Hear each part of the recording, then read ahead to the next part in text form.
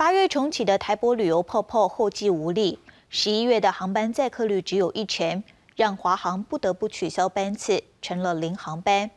不过，这也引发了博流总统会述人的不满。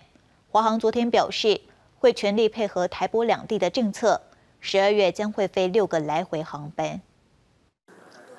八月重启的台博旅游泡泡，当时因为国人有接种疫苗的需求，买气旺。但现在台湾的疫苗供应充足，也让台博旅游退收。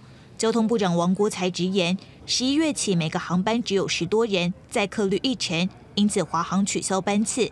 但零航班让博流总统会数人很不满，批评华航没有认真对待博流的旅游市场。王国才表示，观光局已经与旅游业者们进行讨论，加强行销，希望能够就产品的部分再做一些优化，哈，让它的吸引力提高。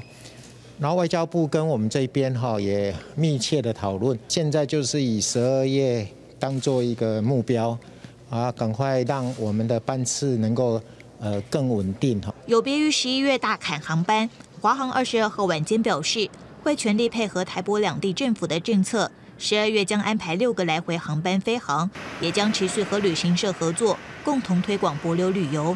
交通部长王国才希望透过外交机制一起行销，可以促进两国交流。中华民国的预算还要帮国流来行销，应该要我们的国人去。我想这一部分也是外交的一部分了哈。我想说，呃，当然，这基于外交的考量，我们帮他做一点行销，好，大概大概这样。五天的台博旅游泡泡行程价格至少三万元以上，旅客返台之后，不但要进行自主健康管理五加九天，还要三次 PCR。其中两次自费，旅游业者就盼防疫措施能够再放宽，推广还是可以，还是要持续了啊。那现在最主要的阻碍大概就是一些防疫的措施嘛，这些点如果能够再做一些检讨的话，放宽的话，我想呃消费者他的意愿啊，应该可以再呃这个呃激发出一点来。博流旅游泡泡的防疫规定有没有机会再放宽？指挥中心回应，交通部和外交部以及指挥中心会在研议。